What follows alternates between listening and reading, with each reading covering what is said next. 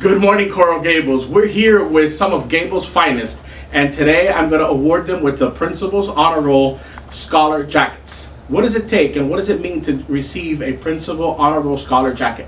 What it takes is for students to have a 4.0 average or be on the Principal's Honor Roll academically and conduct-wise for four consecutive nine weeks. That is why we're doing it at the beginning of this year because these men and women behind me had four straight nine weeks of 4.0 averages and they're on the Principal's Honor Roll.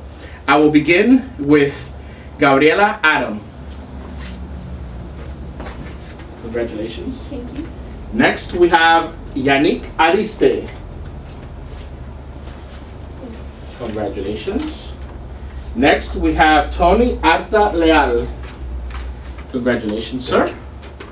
Next we have Yara Faur. Over here. You're welcome. Next we have Leila Iskandarani. Yes.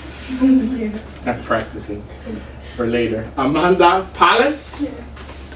Congratulations. Uh, Savannah Payne. Where are you? The other Payne. Okay.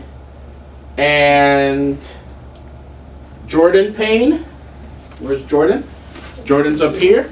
And this young lady, not only did she have a 4.0 last year, but she's had it for three years in a row. So she, she gets a special jacket for Principal's Honor Roll, and that young lady is Maya Iskandarani. Yes. Thank you. Congratulations to all of them.